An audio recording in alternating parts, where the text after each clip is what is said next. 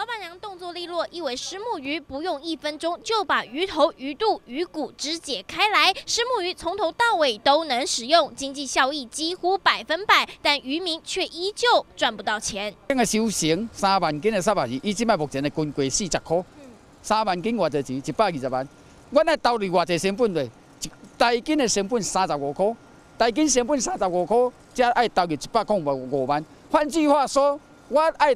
土地成本咧摊提，我甲投资一百零五万，我渔民一当当了了都会当赚十五万。从事养殖渔业四十年的张大哥跳出来喊苦，强调渔民不是东西卖不出去，是卖的价格真的太低。从曾经一台斤九十元掉到现在三十五到四十元，政府没有配套措施，让渔民该怎么生存？听到韩国瑜的拼经济政见，正中渔民心声，让他决定跳出来用选票力挺韩国瑜。前年我承认我淡水我水边，啊，拄啊戆戆对人去啊去用骗去。